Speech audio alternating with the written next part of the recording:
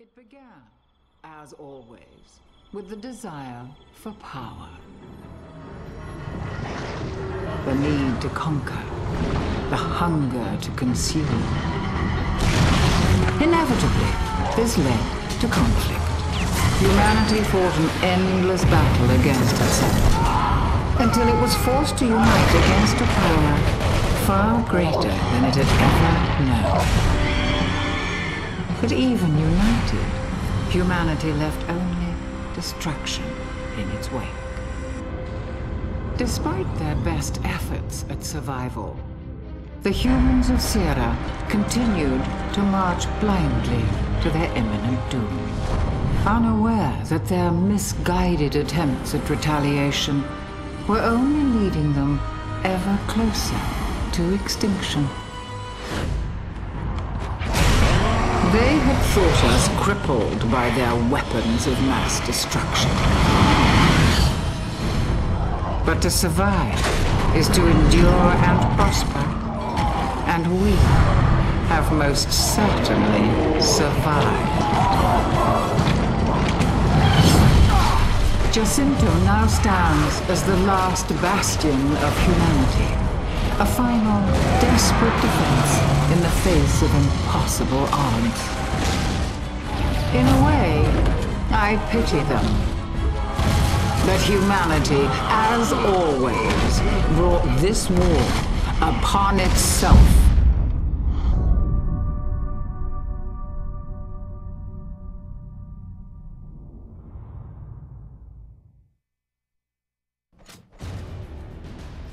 Hey guys, what is up? GoldGlove here, and welcome to our Gears of War 2 Let's Play. I've got a partner in crime. Say hello, sir. Hello. I was gonna say sir, but then I decided against it. I figured that joke got old. Uh, my name's LoadingGodmode, and uh, this yeah, this is Gears of War 2. We just completed Gears of War 1. Yes, we did, and it was it was a good it was a good journey. And so here we are for our Gears of War 2 walkthrough. I know you. I know a lot of you guys are very excited for Gears of War 3. It's going to be dropping in September of this year. So we wanted to uh, we wanted to do walkthroughs of all the Gears of War games, uh, kind of like a Let's Play series to kind of recap what you guys may have missed, or if you guys have never even followed the Gears of War um, storyline, then you guys can kind of follow us and enjoy uh, enjoy it with us. Yeah, it's a bit, it's, Gears of War. It always had a good a good single player, or in this case, multiplayer or campaign Campaign. campaign, I should say. Yeah. Um, I I prefer the Gears of War 2 campaign over the Gears of War 1. Um, but definitely we always always choose Gears of War 1 multiplayer over this. And look at this retard, can't even carry a gun. Should we skip training? Um, Yeah, we don't need training. We're, we're No. veterans, veteran Gears. veteran gear players. We're good Tell to that go. tell that guy to just just suck it up, Yep. suck it up and go. So, I mean, honestly, I don't see any graphic differences like too much in this game. Do you, I mean, do you see really any graphic differences when it comes to the character models and such? Everything seems a lot clearer. Like things in Gears of War 1 were a lot more choppy, a lot grittier. Yeah, that's This true. is- It's a lot smoother in Gears of War 2. It seems like. The big difference between Gears of War One and Gears of War Two is the uh, the mass amount of um, character models at one time. There's just so much more going on in this game in the background. There's always so many more characters involved, which is, I mean, you'll see it's just full on. It's large scale. So, I just unlocked the gamer picture. did you? Yeah, that's have, you epic. have you never played co-op? I did. Not as Dom though. I don't think. Oh. So with Gears of War 2, we've decided to scrap the whole. We did kind of a dual screen there for a while when it came to uh, when it came to Gears of War 1, and we decided to scrap it for you guys. So you you guys are just watching everything from my point of view, and uh, Yeah. that way, yeah, it's just a lot easier It's- for you guys. I mean, the the only like situations that was more beneficial was when we had to split up, which happens. Does it happen a few times in this in, in this game? I can't uh, yeah, remember. yeah, I'm pretty sure it does. But in Gears of War 1, it happened like three or four times that we had to split up, and so it was kind of cool to see both angles from it. But it's not you're not missing out on much, and a lot of you guys just didn't like it, and you kept telling us to put 50-50 screen, which is impossible. I mean, I, maybe you just you guys just don't know, which is Yeah. understandable. But you can't you can't do that, or else you'll have to stretch the screens to where. Yeah, it doesn't work where you, you we can't put 1280 by 720 uh, top and bottom in a 1280 and by a 1280 and 720 you know uh, frame. Like you it's impossible to do that. You'd have to stretch it and it would just look horrible so. Horrible. yeah. So we just met up with Ty who is another cog. He's oh what the hell just happened? He is a he is a cog badass. We uh Ty is an awesome character in this game and another thing is about Gears of War 2, the character development, the characters are a lot more dynamic. They're not as static as they were in Gears of War 1. They're they're always changing. There's there's more of a storyline when it comes to the characters and kind of uh, how they change along with uh, the events of the story, which is which is always cool. It always adds a whole nother dimension to the game, you know. Yeah, I. Yeah, Ooh. it was a lot more in depth, just overall with this game. Yeah, definitely. So they did a great job on the campaign, but for us, uh, for us two who ha- fell in love with Gears of One, Gears of War One multiplayer, um, this just didn't really do it for us. But we can talk about the campaign still a little bit. Oh, that was Oh. rude. Yeah. Well, I just blew. I was waiting. I was gonna wait to do that, but mm, yeah, I see you. Uh, took I got it, baby. Took I got it. on that one. Don't even worry about it. So this scene is a little bit slow. Um, basically, we are in Jacinto. For those of you who, if we talked over something that was kind of informative, we are in Jacinto. We are in. It looks like a hospital. Oh, here's some ammo. And don't chainsaw me. I'll chainsaw and- whoever I please. We are. Uh, the Locust are raiding it. We are trying to escape out of Jacinto. So that's kind of where we are at the moment. And don't run in front of me, Dom. That's not how you work, bro. yeah, these kids are bad. Just scraping them. So you'll see that the oh, I'm gonna pick up this Hammerburst. You'll see that the movements in this game are a little bit different. The way the characters move, the way the uh, kind of the you aim. I don't know. It feels a little bit different. The you know the movements and the the gameplay. Did you um? Did you already find all the? Oh my God, bad idea. Don't rush into. Did oh, you already jeez. find all the cog tags? Um, I am not sure. Let's check. Uh, I don't know how to check. I, cause I know I did, but there's also the collectibles in this game are called cog tags, and um, we couldn't show you guys in Gears One because we had already found them all, and I think the same situation is uh, is gonna happen in this game that we both already found all the cog tags, so you guys are don't I don't. get I don't. I don't think I've found them all. I think I've found them all up till like the. Oh, there's a guy over here. Up until like the uh, fifth act or something, like further into the game, and then I I don't have a couple. But um, we'll we'll try to find as many as we can. I don't really remember the locations of them in this I game. don't at all either. I know we passed one up already. One was like right, uh, right in the beginning. Oh, okay. It was in the training actually. Am I? I think. Where am I going? Um, yeah, the yeah. there is there is I'm one in the training. I remember that. But um, I I had a funny story that I wanted You had a to funny talk about. story? Yeah, that I wanted to tell you guys. Um, I I I kind of spoke about it in a dual com I did with uh, Trauma. We were playing with him earlier. They probably don't know who he is. Al Caponage. Al Capone is Optic Trauma. But Yep. um, I, I did a dual commentary with him where I told him the story. Um, and it's it's gaming related. One day uh, during the week between Christmas and New Year's, I had that whole week off of work, and so um, uh, my my mother and my girlfriend who live with me both had work. So I basically had the whole day to myself every day, and I would get on Xbox and the language on Xbox is not very um, not very Appropriate. nice, appropriate. It's not. Um, it's it's extremely offensive, and most of you guys know that it can get super gay at times, and I'm okay with that. I can I can I can get pretty gay. And um, so one day, this kid, and I don't understand why, like, oh, you're such a faggot is a, is an insult, because, like, I'm not I'm not gay, and there's nothing wrong with being gay, even if I was.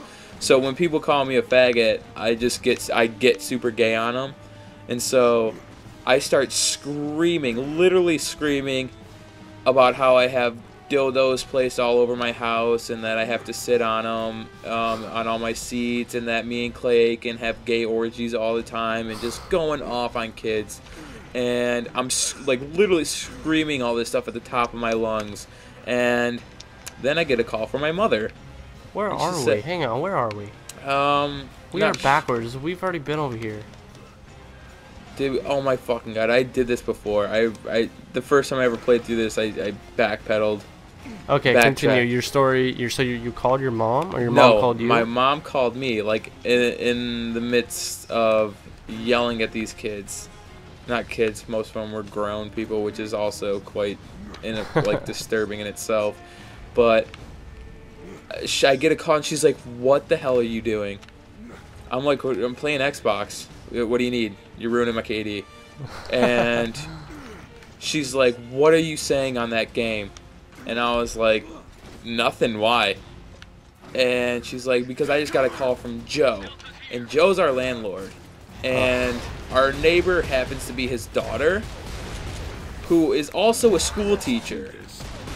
so So pretty much the worst people you could ever let over here. You know, hear you say that stuff. So yeah, so basically she heard me in great detail. Now, let me let me get a cool execution on this guy. Oh my bad. I think I killed him. Oh, that didn't. Oh my What God, what is hell, that? dude? I forgot. How do you kill these? You shoot them in the face. Oh my So- God, that was frightening. So my mom calls me and I'm like, well, it's my house. I should be able to say whatever I want in my house. I should be able to get as gay as I want. I didn't say it like that to my mom, but that's pretty much what I was trying to get at. Like I should be, if I want to be gay in my house, I should be able to be super gay. Right. and obviously she was really embarrassed and it was kind of embarrassing so i ended up going over there to apologize as i um, left the house to go pick up mariah from work.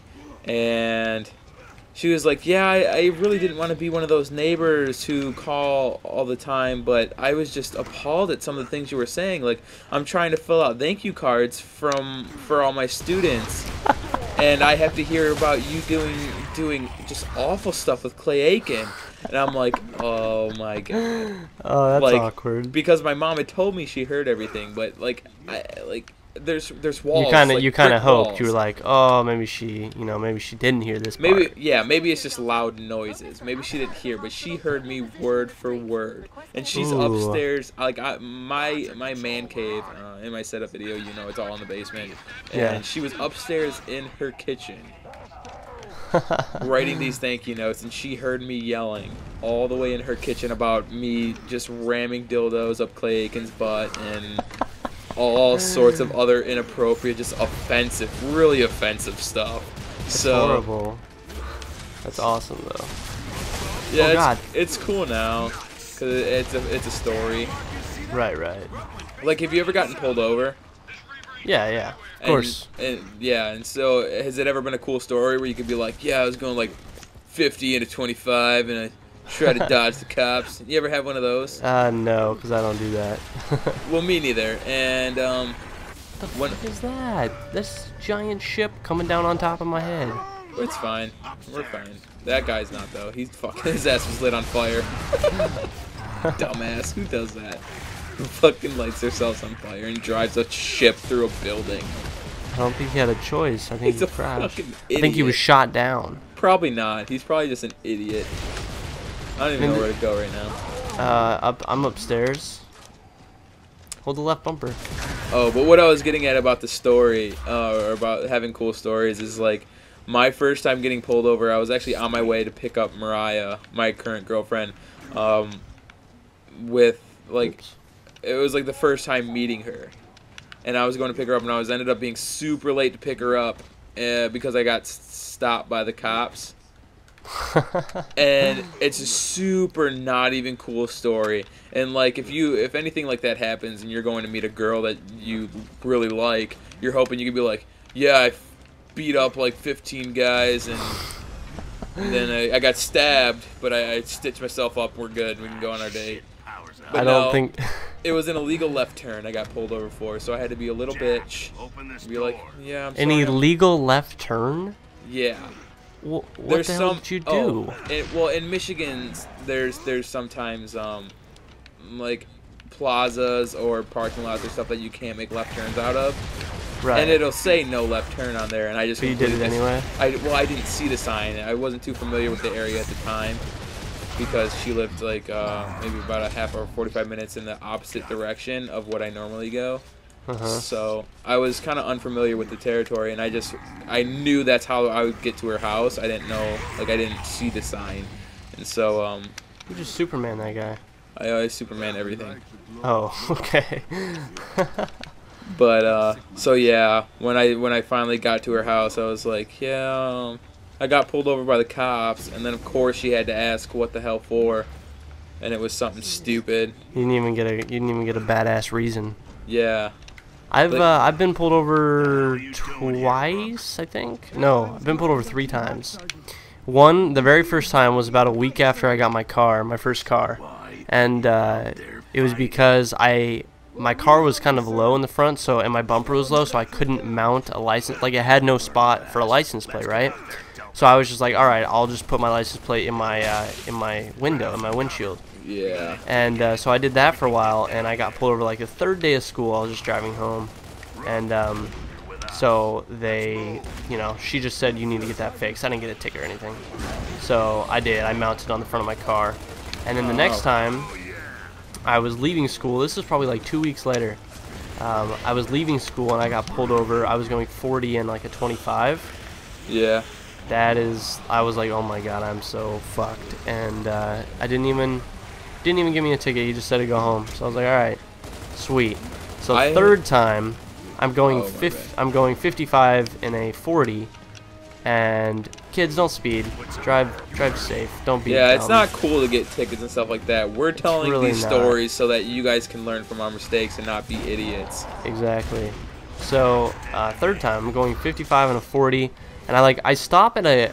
it's funny because I stop at a red light, and like my friend's car is next to me. We just me and my girlfriend just came from a movie, like a double date with some of our friends, and um, so like just messing around. You know, I pull up next to the guy at the light, and I just like start revving my engine just to you know just to be a total tool, just to fuck around, and um, and so I just I just floor it, you know. I was like, all right, he won't race me, but I'll just whatever. I'll be a jackass anyway. And uh, so I just start going, and I'm, I'm I hit like 55. This, you know, the speed limit's 40 on here, and all of a sudden I get uh, this, you know, sirens, lights turn on behind me. I'm like, oh, you gotta be kidding me. apparently, the car the car that was behind me was a cop. And uh, I didn't You realize idiot. that it was it was nighttime. I didn't know. Yeah, so uh, but I got out of a ticket again, and this is only a month after I got pulled over the, the second time. I got out of the ticket again, and I think it was because I, my girlfriend was in the car with me, and she looked like she was gonna cry. So uh, I think, and she's pretty, so you know that just that just always works out in my favor. yeah, I think I've been pulled over a total four or five times, and I've been wrote, written, um, I think three tickets. But it's like it's super weird because me and cops have like super good relationships for whatever reason. Like whenever they pull me over, I can always just like joke with them and stuff like that, and they still end up writing me tickets. But it's just at least it like it eases the tension, you yeah, know. definitely. And like this one time I get pulled over and it's the meanest guy ever. Like this guy was just having a rough week or something because he was just a dick. And he was the only cop that ever let me go. He Really? was yeah, cuz I and like out of all the times I've been pulled over, it was probably the, the one time I deserved it because I was going like maybe 70, 80 miles an hour in a 55. Oh my and god. I was just, it, it's like a two lane highway on my way home from work. And it, it's not really a highway, it's just a road, and it's only two lanes. But like, there's a lot of tractors and semi trucks and stuff going back and forth. And so, like, you're allowed to pass. Well, Right. I was passing them at like 80 miles an hour, and clearly it's it's super dangerous. And I, I wouldn't I wouldn't even dare do that ever again because I learned my lesson from being pulled over that one time. But I was just cutting cars off. I was I was being a little punk ass teenager, like a typical punk ass teenager. Yeah. So um, so he pulled me over and he's like, "Where are you, where are you uh where are you driving to so fast?" Blah blah blah. And I was like, um, I, I need to get to school. I'm running late. And he's like, "What school do you go to?" And I was like, "Oh, just blah blah, blah whatever, some community college. Yeah, no one knows." Right. But um, There's gotta be another he's like, "Well, I've been getting complaints. I guess people were calling on me, like calling the cops, like calling 911, because I was Yeah. driving that poorly." Well, you should uh, drive more s- safely. Well, it was just funny though because like he gets all these complaints and then like he's being a super dickhead to me, and he's like, he's like, you know, if you get into a car wreck, you're never getting to school. I was like, That's true, man. He's got a good point. I was like, I know, I, I'm so sorry. And he's like, get the, he's like, get the class. And then I you drove 90, right? no, I fucking, I drove the speed limit was 45. I was driving, uh, um, You're probably driving underneath the speed limit. Yeah, I was 'cause he driving, probably like, right behind 40. you.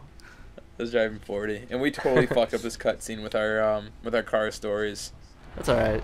Yeah. I don't. I think We our should- car stories are enjoyable. Yeah, we should end it now, though. So yeah, definitely. That is the end of episode one. Thanks for watching, guys, and we will see you guys next time. Peace, guys.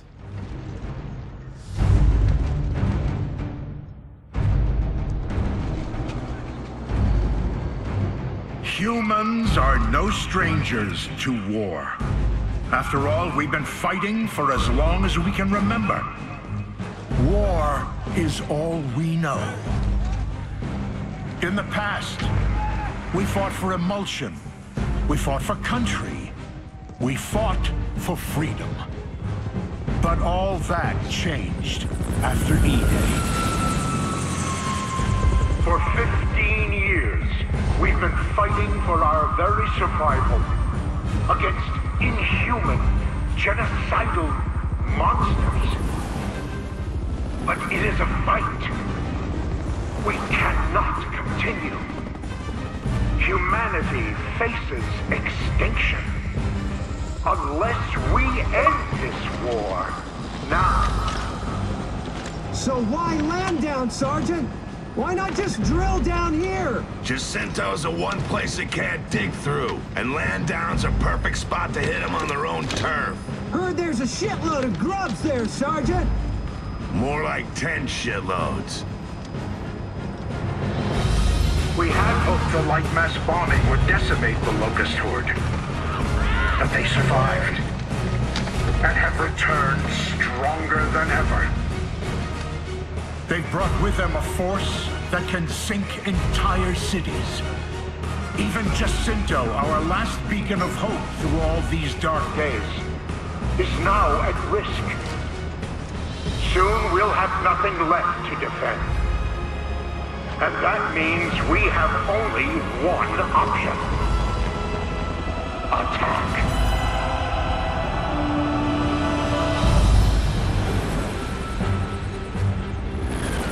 Gears, what I ask of you now is not an easy thing, but it is necessary.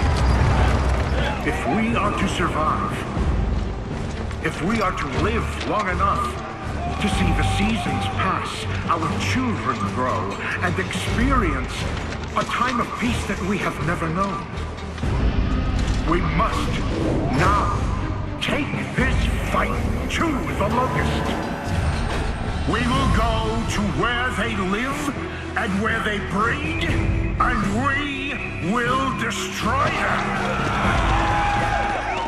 This is the day we take the battle to the heart of the enemy. This is the day that we correct the course of human history.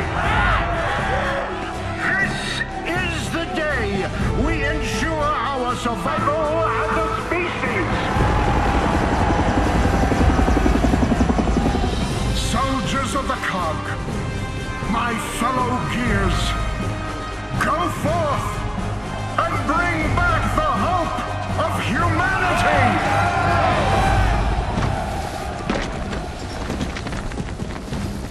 Welcome to the big sock, Sergeant Fenix. You ready to hit the road? You know it. Well, let's go chunk some bullets at them grubs.